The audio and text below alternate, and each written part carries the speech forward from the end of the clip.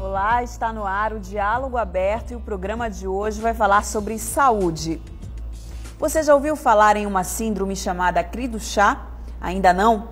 Trata-se de uma síndrome rara, resultado de uma alteração genética. No programa de hoje, nós vamos entender melhor o universo das doenças raras. No diálogo aberto de hoje, eu vou conversar com a geneticista e pediatra Isabel Neves e com a fonoaudióloga Priscila Salgado, que vive essa realidade com o seu bebê. Primeiro, a gente vai conversar com a médica Isabel Neves. Muito obrigada, doutora, pela sua presença. A senhora também é médica no, do Hospital Betina Ferro, que é referência aqui no estado nesse assunto. Eu queria que a gente começasse esse programa explicando para as pessoas exatamente o que pode ser considerado como uma doença rara. Uma doença rara, Patrícia, é uma doença que tem uma frequência superior a um para cada dois mil nascidos vivos. Agora, como é que pode ser detectada? Como é que é caracterizada uma doença rara? Como é que pode ser identificada? Toda, toda doença que ela fuja daquele, daquelas características usuais de qualquer quadro, né? muitas das vezes até uma infecção respiratória. Se você pega uma situação dessa, uma infecção respiratória em criança é extremamente frequente, né? Mas assim, quando essa infecção respiratória ela é extremamente frequente, ela é recorrente, né? Isso já vai chamar a atenção do pediatra, tá? E se ele olhar mais atentamente a essa criança, verificar o desenvolvimento dela, se ela está atingindo as etapas motoras, de linguagem, eh, o comportamento dessa criança, de repente ele pode achar um dado a mais. Se ele olhar talvez mais atentamente a essa criança do ponto de vista de aspecto, né? de repente ela é uma criança também que possui né, uma face diferente, às vezes achados de extremidades também podem ser diferentes. Então, assim, a partir de situações que às vezes podem ser é, motivo né, de um atendimento corriqueiro né, de, um, de um pediatra ou de qualquer outra especialidade, nós podemos passar a identificar uma doença rara. Né? É, por exemplo, uma situação é, de um cardiologista né? que atenda criança, que atenda adulto. Às vezes, no consultório dele, ele poderá também estar identificando uma doença rara porque que... pode vir com um problema cardíaco, né, uma, uma malformação cardíaca, mas se ele observar mais atentamente essa criança, ele poderá identificar sinais faciais, poderá identificar que essa criança ela tem um comportamento também diferente, não usual de qualquer criança naquela faixa etária. E aí ele somando todas essas características, ele poderá verificar que não se trata só de uma cardiopatia, que existe algo mais, um problema de base que, que deve ser investigado. Então, caracterizando caso... aí uma coisa que foge um pouco mais daquilo que ele está é, habituado da a atender no dele. dia a dia, na especialidade dele. Então, em todas as especialidades médicas, se pode atender crianças, mas não só crianças, né, porque existem doenças que são raras né, e que podem acometer adultos, até porque nem toda doença rara ela é de causa genética.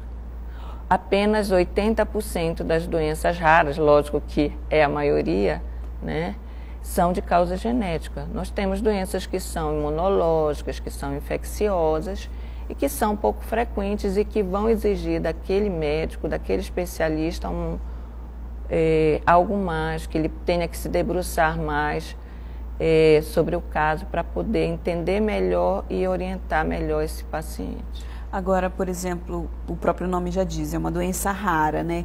Mesmo dentro desse universo de doenças raras, existem é, algumas que são mais frequentes, e principalmente Sim. aqui na nossa região, ou, ou nesse sentido, algo nesse sentido?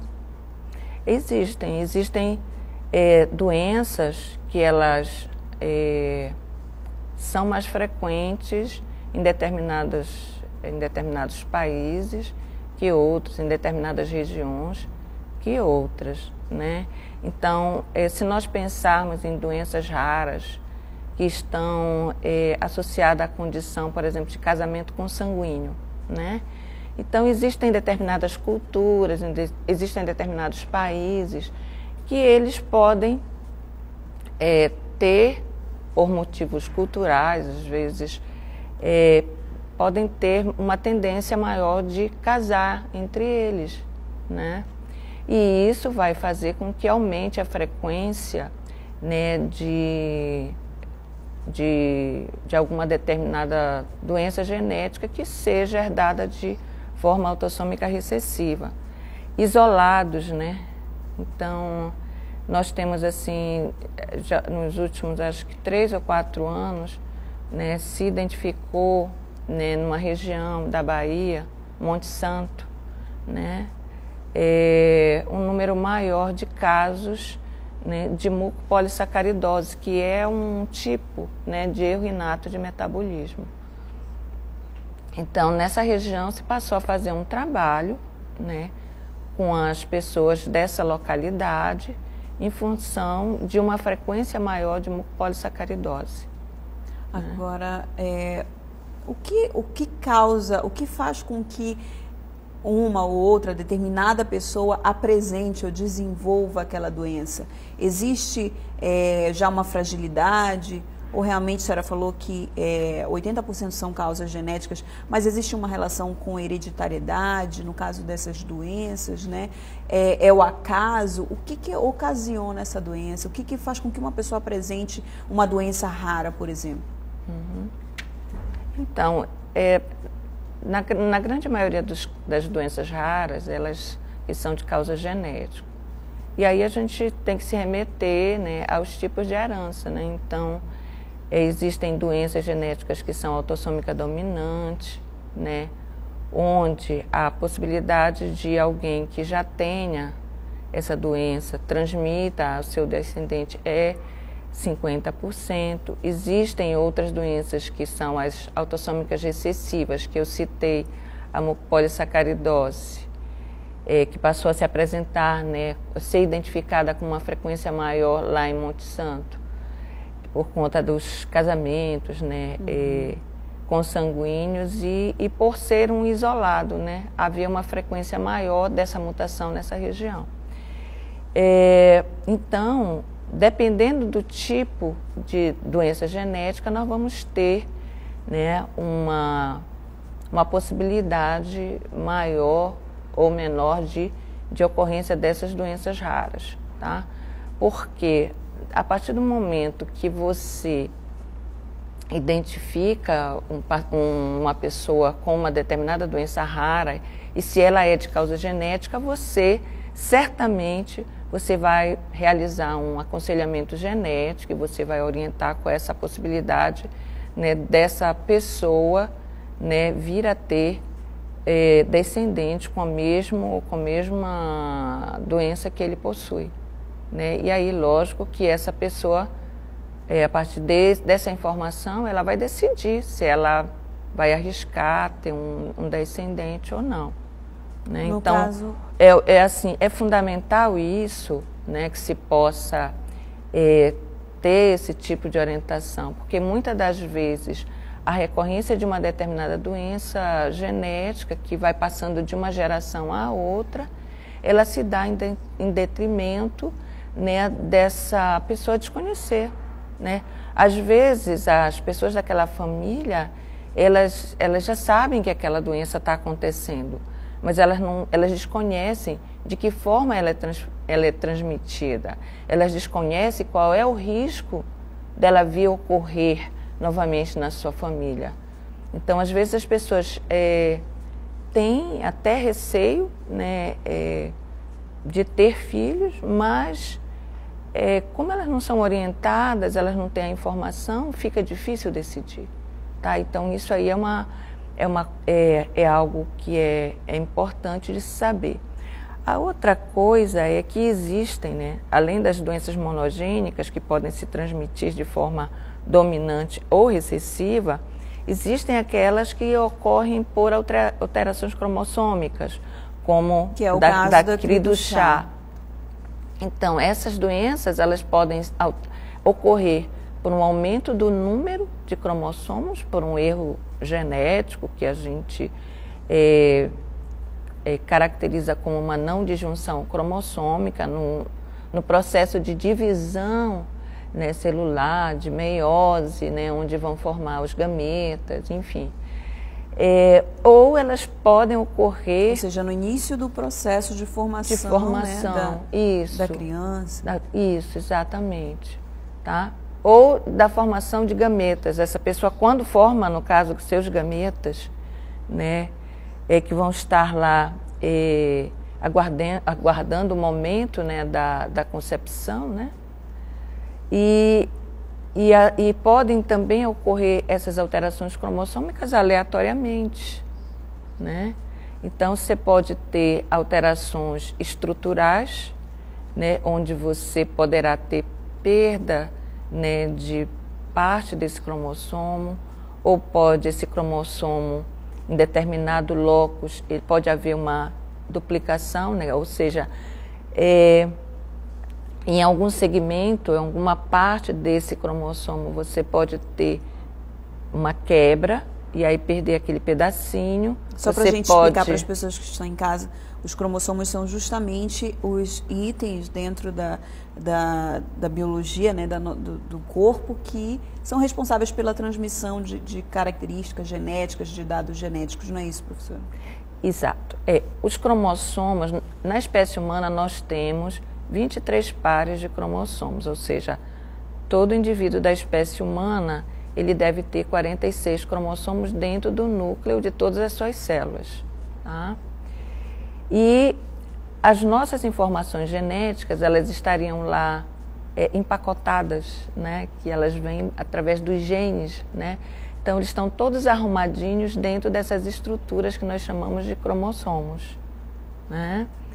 E, e esses cromossomos, eles estão sujeitos, em determinadas situações, né, a, a sofrer alterações. alterações, quebras. Aí você, às vezes, quebra um pedaço dele e cola num outro cromossomo, né, num outro par cromossômico. Às vezes, ele quebra e ele inverte a posição em que ele estava, que são as inversões às vezes ele, ele quebra, duplica né, aquele segmento. Então é né? isso que causa então, são várias, essas alterações. São várias formas de ocorrência, né? não é uma forma única, são várias formas. Então, às vezes as, as, as pessoas quando descobrem que tem um filho né, com, uma com uma determinada alteração cromossômica, ela pensa que ela possa ter, às vezes até possui, né? É algum erro e, e por isso que é importante, né? A partir da identificação, né, daquele problema, você, o médico verificar se há possibilidade, né, do casal, dos pais dessa criança de terem algum erro genético também, certo. que possa, mesmo ele sendo normal, né? uma pessoa que tem todo o seu material genético, ele não teve perda, porque às vezes ele tem um erro genético, mas onde não houve uma perda cromossômica.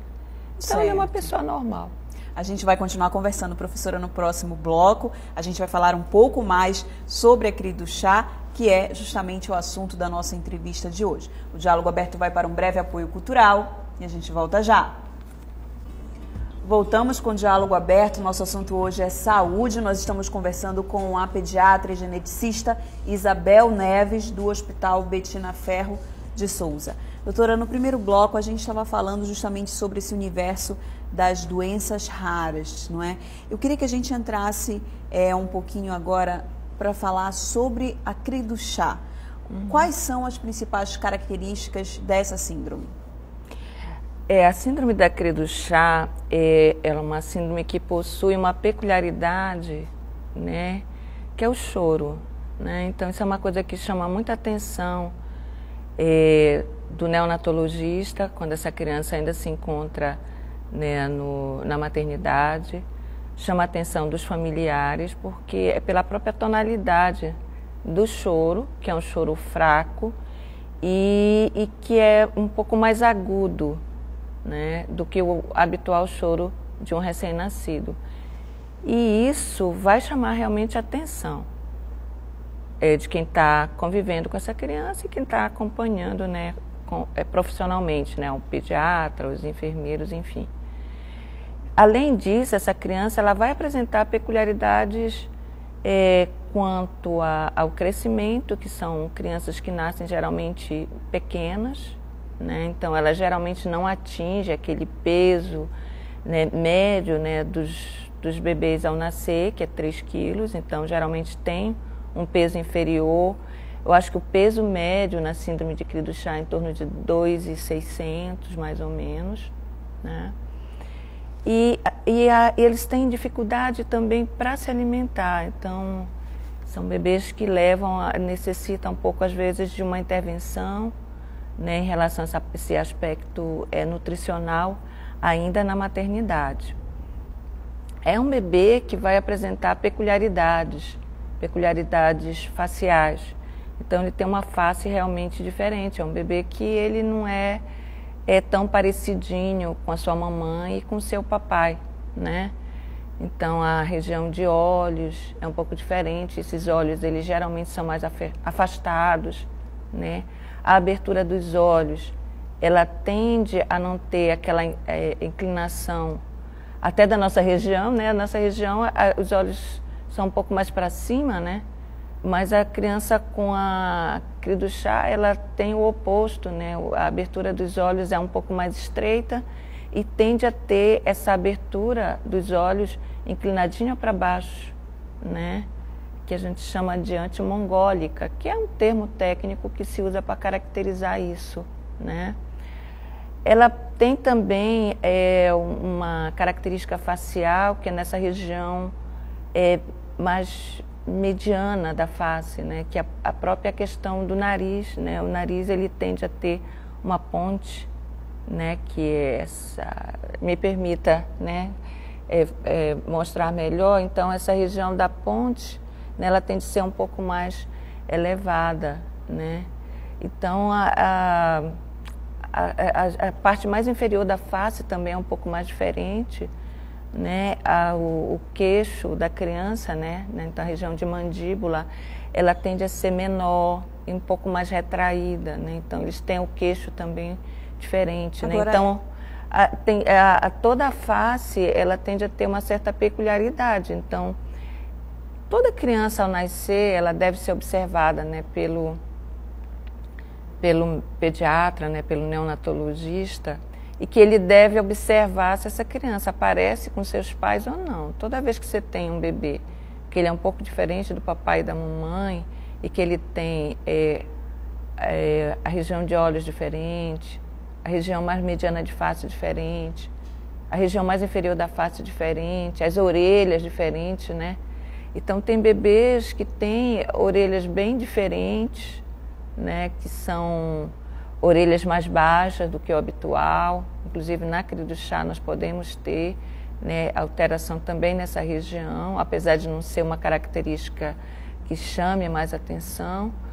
É, elas podem ser rodadas para trás, né? então aquela orelha é, que, em vez de ficar assim, acompanhando o alinhamento da face, ela se declina para a parte posterior né, da cabeça então, isso vai chamar, isso é um dado também que chama atenção. Aí você vai observar o neném como um todo, né? E aí você pode observar um pescoço mais curto, um pescoço mais largo. Aí eu então, já estou saindo. Todas essas características é, físicas. Né, físicas né, que podem estar chamando é, a atenção, né? os, né? os mamilos podem ser mais afastados, assim como os olhos. E tem né? é, comprometimento também no desenvolvimento da criança. Que é Agora, é uma coisa importante. Certo. Né? Existe algum tipo de prevenção, doutora, para, para essa doença, que não pode ser, inclusive, identificada é, durante o pré-natal ou pode ser identificada durante o pré-natal? Você só pode identificar no pré-natal é, se, se fizer o cariótipo. Tá? Então, o cariótipo, que é o exame que vai identificar os cromossomos. né, que é um, é um teste genético, é um exame dessa área muito Que não solicitado. é comum que toda grávida faça. Não, não. Você pode fazer até durante o pré-natal, você pode fazer o Oscar, né, que é um exame, é, na realidade, que é um conjunto de exames. Né? Você faz marcadores bioquímicos, você pode fazer a avaliação da translucência nucal junto, né? E, e aí o somatório disso tudo vai te dar um índice que vai te dar uma possibilidade de é, doença cromossômica, tá?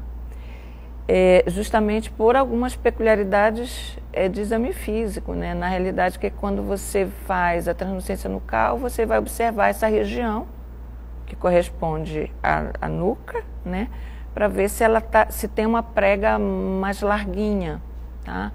Então, é, não obrigatoriamente você vai identificar uma é, uma alteração dessa num, num, num bebê que tem querido chá, porque não é uma peculiaridade da síndrome um pescoço tão largo como que vá dar uma uma uma prega nucal é, aumentada de tamanho.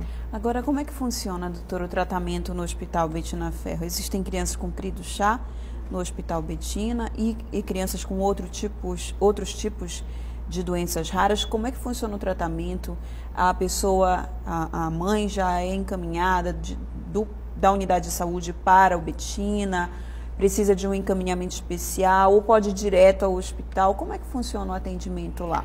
É, o atendimento no Hospital Betina Ferro, é, ele é, por ser um hospital público, é um hospital universitário, né, um hospital de ensino, né, totalmente SUS. E as nossas crianças, não só as crianças, porque é um ambulatório de genética, ele atende todas as faixas etárias, não apenas a faixa etária pediátrica, né, é, então, ele recebe pacientes que são referenciados. Né? Existe né, uma forma de você estar encaminhando de uma unidade básica ou de um programa de saúde da família direto para o hospital, que é o médico dessa unidade, ele vai estar preenchendo a referência contra a referência e passando né, para a família ou para esse paciente que ele é, busque a marcação desse atendimento no Hospital Betina Ferro, onde são atendidas doenças raras, né, é, especificamente de causa genética, que são 80% dessas doenças raras. Então, de posse dessa referência, né, essa, essa pessoa vai estar tá, é, providenciando isso né, através do funcionamento da unidade básica de saúde, através do, do DERE, né, que é um departamento que regula as consultas dentro do SUS. Então aí ela, o DERE providencia essa marcação, essa pessoa é, é chamada né, e comunicada do dia do seu atendimento, dia e horário do seu atendimento no Hospital Betina. E a partir do primeiro atendimento, a pessoa passa a fazer um acompanhamento no hospital? Exatamente, ela passa a ser, primeiro vai ser investigado, né, ela vai ser avaliada. Então, assim como nós podemos identificar uma doença rara, mas já conhecida do corpo clínico, né, do serviço de genética, né, que fica no serviço caminhar, é, ela poderá ter no mesmo, no mesmo, na, na mesma consulta já um, receber um diagnóstico, já receber uma orientação mais específica Pode se tratar realmente de uma doença ainda que vai exigir uma realização de alguns exames, né? E aí se, se inicia um processo né, de investigação que pode ter um número é, sequencial aí de atendimentos, né? É, onde se a partir da identificação né, desse diagnóstico se vai realizar a orientação dessa pessoa né, onde ela vai conhecer um pouco mais sobre o problema que tem, receber uma infor informação sobre isso, um laudo, um informe clínico, e vai conhecer qual, como ela foi herdada, qual é o risco de acontecer novamente na sua família. Existe né? algum tipo de estatística aqui no estado, doutora, em relação à incidência de cri chá ou de outro tipo, como a senhora falou, existe algumas doenças raras que são mais frequentes, não é? Existe alguma estatística em relação a isso? Não, é, a, a, política de doenças raras ela é muito nova no nosso país, né? Eu acho que é de, de, de seu conhecimento, talvez não, é, que a, a, política de doenças raras ela começou a ser estruturada no nosso país é há, há, um, há um pouco mais de um ano, então 30 de janeiro do ano passado, né, de 2014, foi que saiu a portaria 199 das doenças raras. Então, a partir disso é que essa política ela está sendo estruturada no país.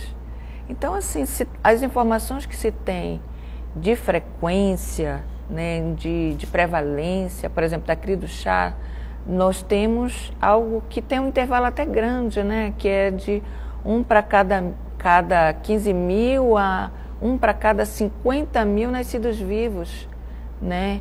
Então, essas informações elas são de estatísticas que ocorreram em outros países, né, do mundo, né, e aí se tem essas frequências, essas é, prevalências, incidências estimadas, né, e é com ela que nós trabalhamos, né. Então nós é, com essa frequência a cria do chá ela fica caracterizada realmente como uma doença rara. É, o atendimento ela se faz geralmente né, é, se deve fazer na própria atenção básica, que o, a criança que está é, sendo acompanhada no Hospital Betina Ferro, ela não deixa de ser atendida é, pelo Programa de Saúde da Família nem pela unidade básica. Ela continua lá em acompanhamento, mas ela vai ter orientações mais específicas no serviço de genética, né, no ambulatório de genética é, do Hospital Betina Ferro. E aí, é, especificamente, por exemplo, a modelo né, da cria do chá. Se é uma criança que tem é, infecções respiratórias mais frequentes, se é uma criança que tem é, dificuldade de alimentação, ela vai ser toda orientada nesse sentido. Tá? Se ela tem um atraso no desenvolvimento, que é esperado que tenha um atraso no desenvolvimento, né? então são bebês que a, o perímetro cefálico deles são um pouco menor, né?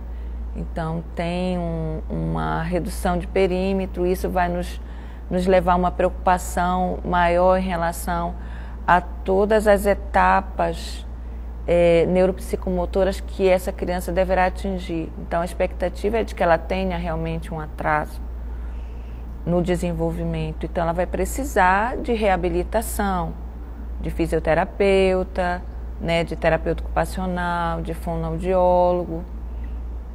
Então, se ela não tiver esse acompanhamento, né, isso vai determinar é, um atraso mais acentuado.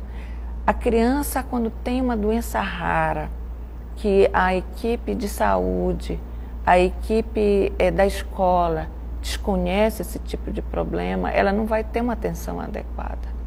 Tá? Então, as, as doenças raras, elas precisam ser diagnosticadas nos serviços especializados e essa informação ela tem que ser repassada para a atenção básica ou para as crianças que, no caso, que não, que não são atendidas pelo Sistema Único de Saúde, que elas estão sendo atendidas por é, médicos, por pediatras, por cardiologistas, ortopedistas, é, especialistas de qualquer área, né, é, pelo plano de saúde ou particular. Então, esse profissional, esse médico, ele tem que conhecer o problema dessa criança. No caso, tem que conhecer a síndrome de Cri do chá para que ele possa estar atendendo todas as demandas específicas dessa criança e estar conversando, orientando, explicando a essa família. Então isso aí é fundamental. Tá certo. Tá, tá certo. Muito obrigada, doutora, pela sua participação aqui conosco. Por isso então a importância, não é, da informação e de inclusive levar o seu bebê até o pediatra desde os primeiros dias, não é, doutora, desde os primeiros Com meses certeza. de vida para que realmente possa haver esse acompanhamento e se houver algum problema que seja logo identificado para que a criança seja logo estimulada e seja logo tratada. Muito obrigada, doutora, pela sua participação Eu aqui que agradeço. conosco. O Diálogo Aberto vai agora para um breve apoio cultural e a gente volta no próximo bloco falando com a Priscila Salgado, que é mãe do pequeno José Miguel, que tem crido chá e vai falar um pouco da sua experiência para nós. A gente volta já, não saia daí. Voltamos com o diálogo aberto e a gente continua falando sobre saúde. A gente está conversando, vai conversar agora com a Priscila, Priscila Salgado, que é mãe do pequeno José Miguel, que tem uma necessidade especial, que é a síndrome é, CRI do chá. Então, Priscila, muito obrigada pela sua presença aqui com a gente no Diálogo Aberto. Eu queria que você falasse sobre a tua experiência particular, né, de ser mãe de uma criança que tem a síndrome. Queria que você dissesse como foi que você, quando foi, como foi que você percebeu que o seu bebê era diferente dos outros. É, Para a gente ter o diagnóstico do José Miguel, logo que ele nasceu, ele nasceu com uma dificuldade respiratória. Né? E já na maternidade, a própria pediatra neonatologista, ela desconfiou que haveria algo diferente por conta do choro, que é a principal característica dessa síndrome né, que é o choro do miado de gato. Então ele já tinha um choro diferente das crianças normais. E ela logo chamou atenção para isso. E como ele tinha essa dificuldade também respiratória. Já ainda na UTI, ele precisou ir para a UTI, porque ele teve essa dificuldade. É, foi coletado o sangue para poder ser feito o cariótipo, o exame para detectar se tem síndromes ou não. E depois, esse exame ele demora, ele tem é, 30 dias para chegar ao resultado. Então, depois de 30 dias, é, a gente já em casa, veio, veio primeiro um resultado que não tinha nada a ver com a cria do chá. Veio o resultado de monossomia do cromossomo 21. Aí, bem, aí nós fomos pesquisar o que, que seria, poderia ser isso, né? E pela literatura, essa primeira síndrome que ele foi diagnosticado, ela é incompatível com a vida. E aí nós fomos buscar o que, que poderia ser isso, né? Entramos em contato com outro geneticista que também é da Federal, e ele repetiu todos os exames do José Miguel, inclusive meu e do meu marido também. E nesse segundo exame foi que foi é, diagnosticado a síndrome da cri do chá. Né? E aí foi fechado o diagnóstico já depois de praticamente quase oito meses que a gente realmente é, fechou que seria a cri do chá, porque até então nós, a gente caminhava no tratamento dele é, sempre achando que ele teria as duas síndromes.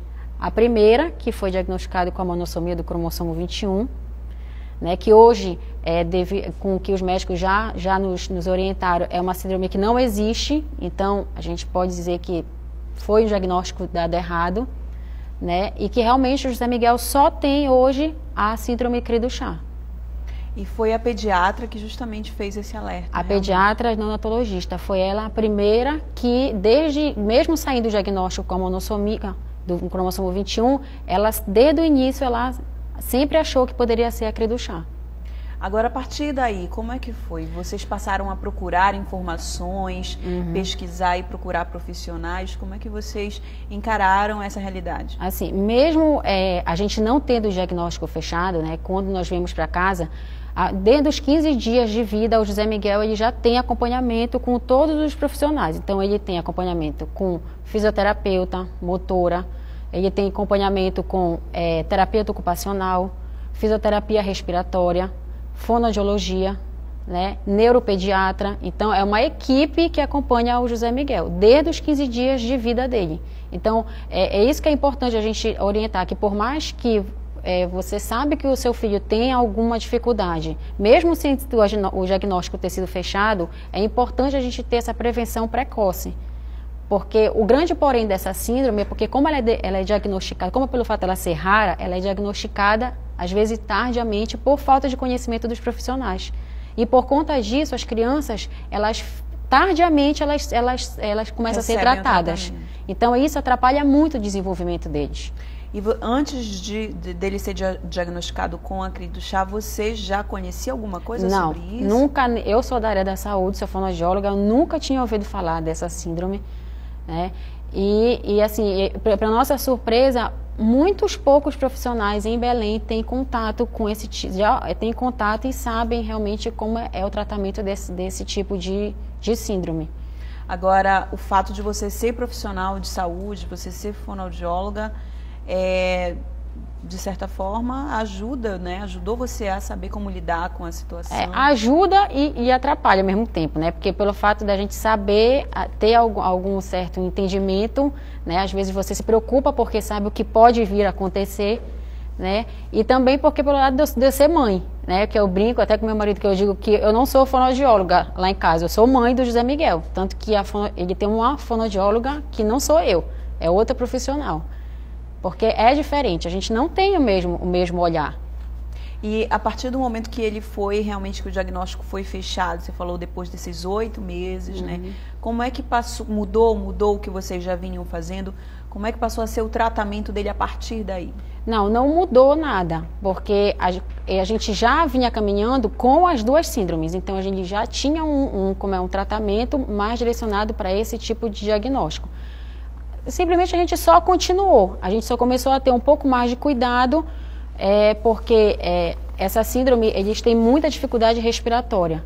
Então, depois que realmente fechou o diagnóstico que seria isso, a gente teve um certo cuidado a mais com essa parte respiratória dele.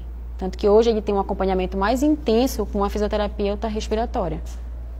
Agora, o que, que, mudou na rotina de vocês? Tudo, completamente. Com, com, a, com a, o diagnóstico? É, um, um, um, um, filho já muda a rotina, né, de qualquer, qualquer família. E uma criança especial mais ainda. Então, assim, ele, eu brinco que ele tem uma agenda intensa. Né? A agenda dele é a agenda de gente grande. Então, é todo dia ele tem terapia. Se não, a gente não vai nas, nas clínicas. Tem alguns profissionais que vêm em casa para poder atendê-lo. Então, ele tem uma agenda muito intensa. Todo dia se tem atividade para o José Miguel. Você, ele convive, eh, vocês convivem com outras famílias que também é, têm problemas parecidos? Você conhece outras crianças que também fazem o mesmo tipo de tratamento aqui em Belém?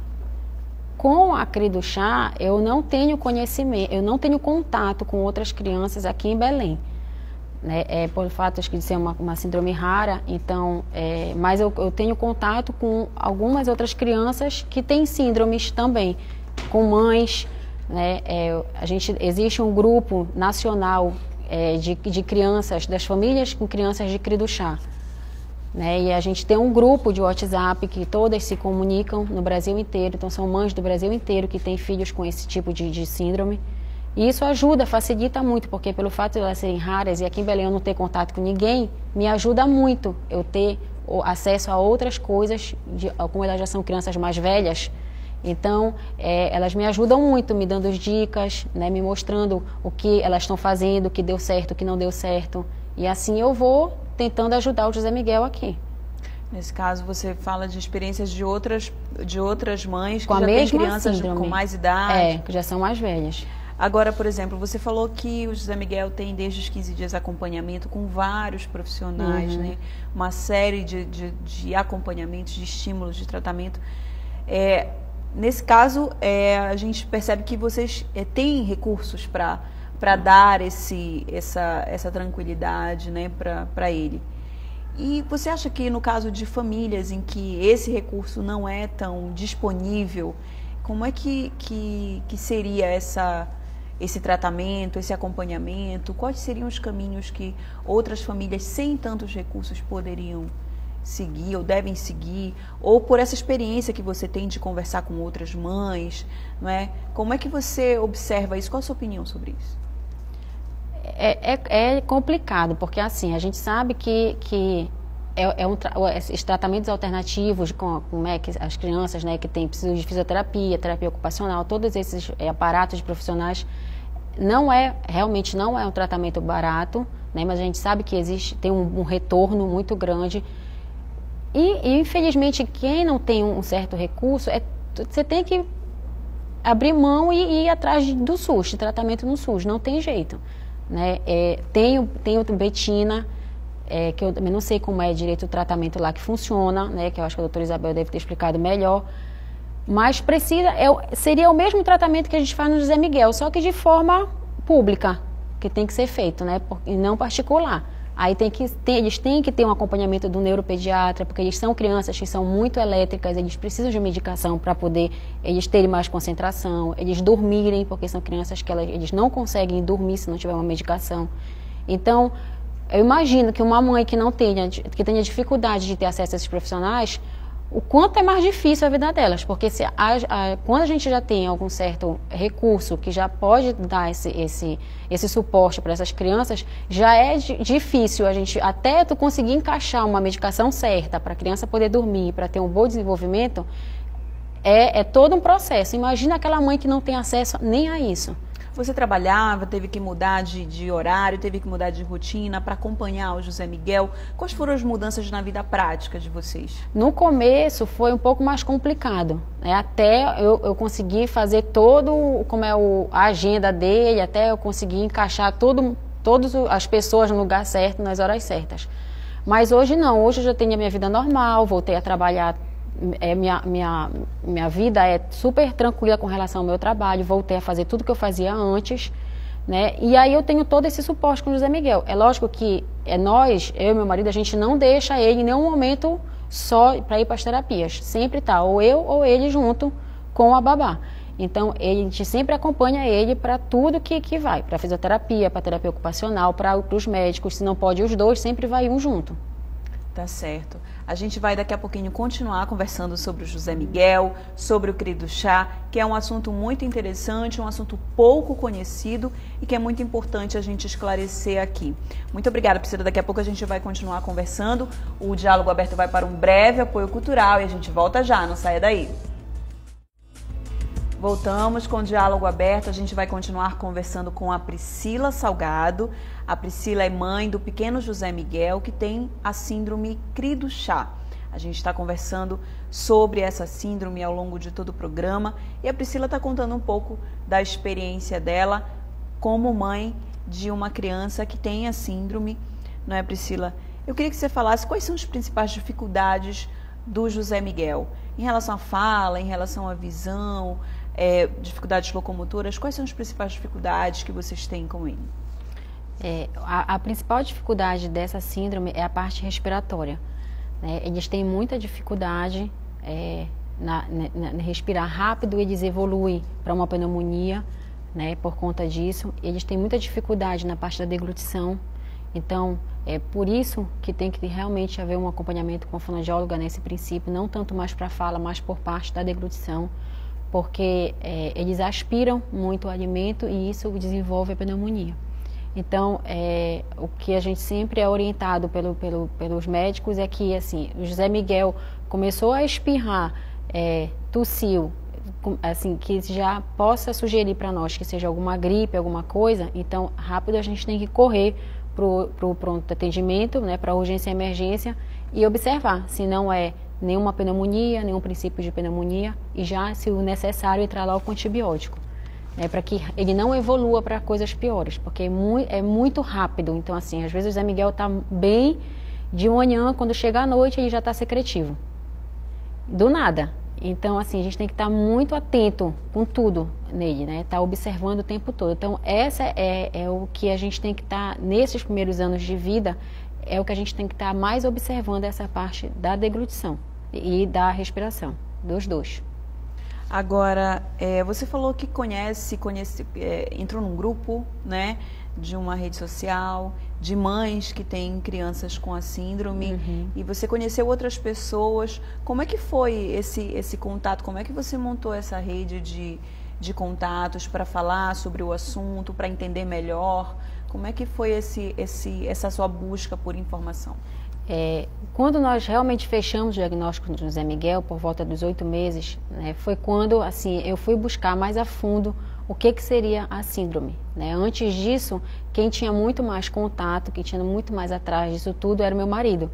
E por, por me poupar algumas coisas, ele que tomava conta mais de tudo. E aí, depois que realmente fechou o diagnóstico, eu senti necessidade de ir atrás mais dessas informações. E aí eu comecei a procurar em, nas redes sociais, no Facebook, essas coisas. E encontrei. É, a primeira mãe que eu entrei em contato foi uma mãe em Portugal.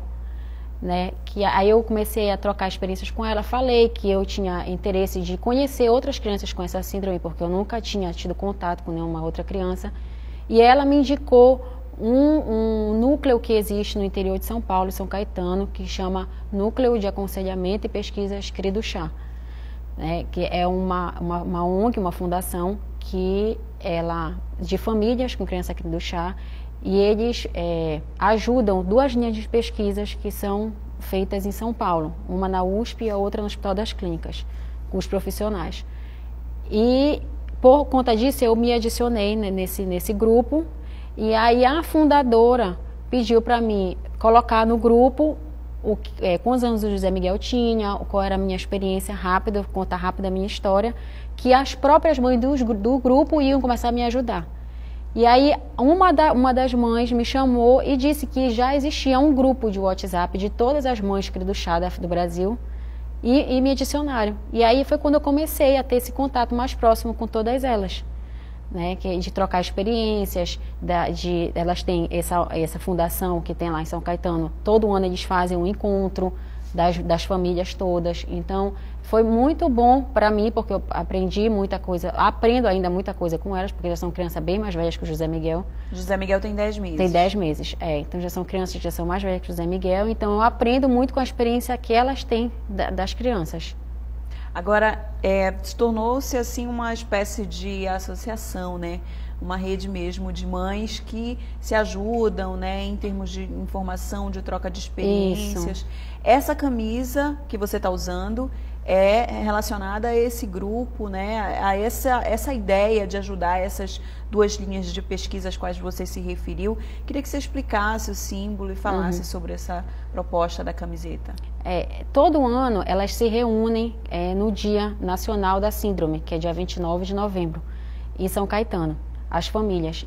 E elas começaram, elas tiveram a ideia, idealizaram essa camisa de fazer, né? É o, é o desenho do cromossomo. E aí o cromossomo que, é, que afeta a cria do chá é o cromossomo 5, que aí eles perdem o braço curto do cromossomo. E aí se pronuncia as duas cores, porque o rosa representa a menina e o azul o, o, o sexo masculino. E aí elas idealizaram essa blusa para poder arrecadar mais fundos para essa linha de pesquisa. Né? A princípio, eu entrei em contato para poder mandar pedir duas blusas décimas para meu, meu marido, só que o frete seria muito mais caro do que eu, a, a, pagar as duas blusas. Eu pedi autorização para elas para me fazer essa blusa aqui, eu mesmo fazer, elas autorizaram, porque elas disseram que a grande ideia dessas blusas era de divulgar a síndrome, né? E aí começou com, apenas com uma brincadeira. Eu mandei fazer duas blusas, aí uma amiga foi pedir outra blusa, outra amiga outra blusa, a família foi pedir outra blusa. E hoje a gente já conseguiu arrecadar já quase 300 blusas, já, já quase vendemos essa quantidade. Né? E tudo aquilo que a gente arrecadar da venda dessas blusas, nós vamos doar para outras crianças que tenham outras síndromes variadas aqui em Belém. Agora, é, algumas pessoas é, algumas pessoas é, que lidam com crianças com algum tipo de deficiência ou com uma síndrome como essa, né? Ficam é, se perguntando em relação ao futuro dessa pessoa, sim, sim. não é? Como se vai ter uma, vai ter condições de ter uma vida como qualquer uma outra pessoa, uma vida normal, né? Dita normal. Como é que você vê o futuro assim do José Miguel? Como é que você você se pergunta ou pensa sobre isso, sobre É no começo a, a nossa a nossa grande pergunta para todos os médicos era assim, era a sobrevida dele, né? Era o que a gente queria saber. E assim, a gente foi tranquilizado porque depois a gente foi procurar através da literatura e até eu na experiência com essas mães de que essas crianças elas têm um longo período de vida se elas tiverem um tratamento, né? no sentido de que é, a parte respiratória tendo, sendo bem cuidada eles, e a parte da deglutição, eles conseguem seguir a vida deles. Então, hoje tem, tem que não são mais crianças, hoje tem adultos com do chá que já tem 43 anos. Né? Então, a gente já não se preocupou mais com isso. Mas a gente já, já viu que, é, assim como outras síndromes, a cria do chá também tem graus de, de de graus da própria síndrome. Isso, da própria né? síndrome, né? Tem leve, tem moderado, tem severo. Ainda não se tem um, que eu tenha conhecimento, um teste que se tu possa é, qualificar isso, o grau que a tua criança é, participa. Mas a gente, eu, através de contato com as outras mães, eu vejo que existem crianças melhores, crianças piores, né, com relação às dificuldades de respiratória, de deglutição. E aí isso vai depender de como o Zé Miguel vai evoluir. Né? Hoje, graças a Deus, ele está bem, ele evolui muito bem, né? É, ele, assim, às vezes até surpreende os próprios terapeutas dele, né? Com as coisas que ele já consegue fazer. Ele tem um certo atraso para a idade dele, tem, com certeza. Ele tem uma dificuldade ainda para algumas coisas que já deveria ter adquirido. Mas ele está indo de, lentamente, mas ele está chegando nas fases que tem que chegar. Né? Ele está passando por todas as fases. Então, a gente vai ter que esperar, na verdade, porque a gente não sabe de que forma ele vai evoluir nas terapias. Ele está muito bem, mas o tratamento é justamente com uma equipe de profissionais. É. Não existe um especialista específico, não é, né, querido Chá? Pelo menos aqui em Belém, que vocês tenham tido contato. Não, aqui não. Então, esse trabalho que vocês é, vêm fazendo, esse grupo de pessoas que se reúne para falar, para discutir, para informar sobre a crise do chá, serve, vai servir também, inclusive, para profissionais de saúde, não é? Para terem conhecimento. Com certeza. É, o nosso maior objetivo é divulgar, né? Porque é, nós tivemos a felicidade de, de, de, no começo, já começar a fazer a terapia com o Zé Miguel e já ter um diagnóstico fechado. Mas existe relatos de mães que só conseguem fechar o diagnóstico, às vezes, a criança com dois, três anos. Então, quer dizer, ela perdeu dois, três anos da vida da criança, que são essenciais no começo, para começar a sustentar a cabeça, começar a sentar, que ela perdeu muito tempo. Né? Então, a criança já, já tem um certo atraso pela síndrome. Se você não estimula, o atraso se torna muito maior. Então, esse é o nosso principal objetivo, é de informar, é de fazer as pessoas irem pesquisar na internet, de perguntarem, entendeu? Eu, eu vou até contar um relato que eu achei muito interessante. Um dia desse eu estava numa roda de, de, de amigas e aí elas já sabiam da campanha, né? Já, já tinham adquirido a blusa e aí uma começou a, a perguntar assim, mas quais são as características principais? Aí a outra levantou eu não falei nada. Aí uma levantou e falou assim: Ah, são essas. Aí a outra, não, tem essa. Eu falei, olha, eu falei, olha só que legal. Eu falei, o nosso objetivo está sendo alcançado, que todo mundo está indo na internet para poder ver. Esse é o grande objetivo. Buscar informação. É, que as pessoas tenham informação sobre a síndrome. E o que, que você diria, assim, para mães, não é, que estão descobrindo agora é, o diagnóstico não apenas do credo chá, mas de uma outra de uma outra síndrome ou de uma outra doença rara porque justamente tem justamente essa característica de ser algo que tem pouca informação é. disponível a toda hora, né? E é, poucos profissionais realmente capacitados para tratar daquele daquele problema. Então, o que, que se diria para mães que estão entrando nesse universo de cuidar de um filho especial? Eu acho que a, o principal, a principal é, é, mensagem que eu dou é que a informação ela é a nossa principal arma entendeu? Com ela a gente pode cobrar dos profissionais o tratamento adequado, com elas a gente pode é, levar mais informação para vários profissionais, porque como o, a, a, os profissionais gerais, digamos, por exemplo, o que eu dou um exemplo é o pediatra. O pediatra ele trata de crianças ditas normais. Então, teve pediatras aqui em Belém que eu já fui, levei o José Miguel, que eu tive que informar para ele o que, que era, quais eram as características, o que, que ele podia fornecer para o meu filho. Entendeu? O que ele não podia fornecer para o meu filho. Então, eu acho que a, a informação é, é, o, é o principal de tudo, entendeu? Você pesquisar, você ir atrás, você fuçar realmente, entendeu? Cobrar daqueles profissionais, porque só assim a gente vai poder dar uma, uma qualidade de vida para eles, que é, é o que a gente quer. Muito obrigada, Priscila, pela sua participação aqui com a gente. A gente deseja que realmente essa luta de vocês, né, com um cuidado com José Miguel, seja recompensada pela, pelos avanços no tratamento dele, pela melhora, né, que ele realmente seja uma criança e um adulto feliz. Com certeza. Obrigada. Muito obrigada pela sua participação. O diálogo aberto de hoje vai ficando por aqui. A gente falou sobre saúde, falamos sobre uma síndrome que é rara e que precisa ainda de muita informação. A gente ainda precisa discutir ainda, informar ainda muitas coisas, mas o programa de hoje vai ficando por aqui. Eu agradeço muito a sua companhia e até uma próxima edição. Até lá!